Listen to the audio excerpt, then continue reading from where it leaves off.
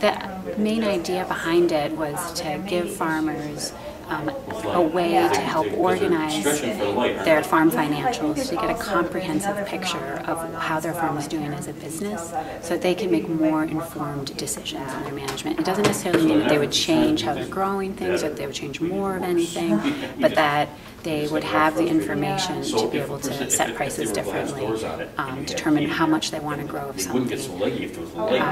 Yeah. how much to grow of something, And that- those types of, those types of questions.